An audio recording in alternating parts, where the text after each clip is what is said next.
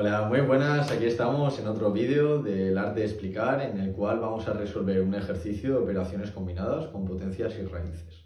¡Vamos a ello! En este vídeo, como podéis observar, tenemos distintas potencias, lo cual lo primero que deberemos hacer será eh, observar si tienen un un múltiplo en común, por así decirlo, un factor en común. En este caso vemos que todas las potencias son múltiplos de 8, o sea, múltiplos de 2, ¿no? Por lo que podremos pasar todas ellas a exponentes del 2.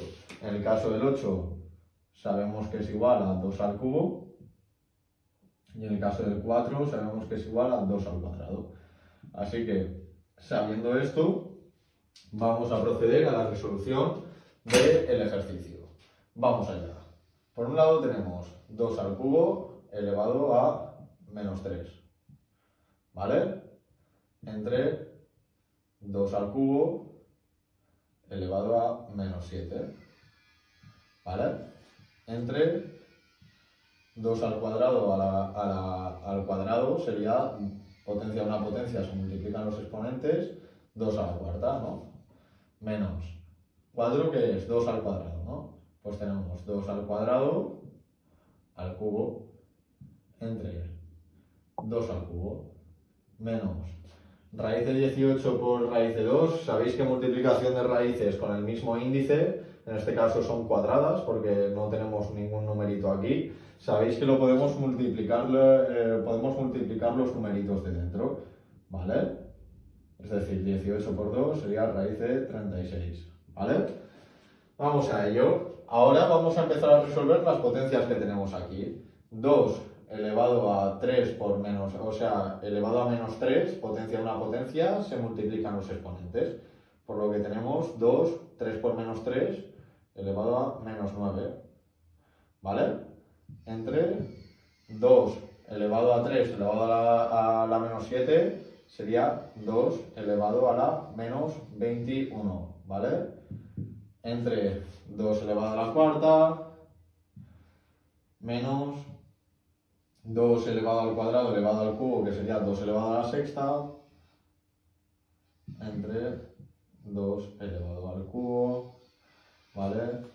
Menos la raíz, en este caso es una raíz exacta, vamos a resolverla ya porque es como raíz de 16 o de 25, o sea, raíz de 36 sabemos que es 6, porque 6 al cuadrado es 36, así que 6, ya lo, ya lo dejamos así. Además sabemos que el 6 es igual a 2 por 3, ¿vale? Y vamos a ir resolviendo aún más. Menos 9, o sea, aquí tenemos una división de potencias con la misma base. En división de potencias con la misma base sabemos que se restan los exponentes. Menos 9 menos 21 sería menos 9 menos, menos 21, ¿no? Entonces el menos menos se transformarían más, ¿no? Tendríamos menos 9 menos, menos 21 y estos dos menos se transforman en un más, ¿vale? Entonces, menos 9 más 21 será 12, ¿no? Pues con esto tenemos 2 elevado a la 12, ¿vale? Entre 2 elevado a la 4. ¿Vale? Menos 2 elevado a la 6 entre 2 elevado a la 3 sería 2 elevado a la 3. Diferencia de potencia, o sea, eh, división de potencias con la misma base. Los exponentes se restan 6 menos 3, 3 menos, vamos a expresar así, 2 por 3. ¿Vale? Y aquí que tenemos ahora 2 al cuadrado, o sea, 2 a la 12 me, entre 2 a la cuarta. 12 menos 4 8.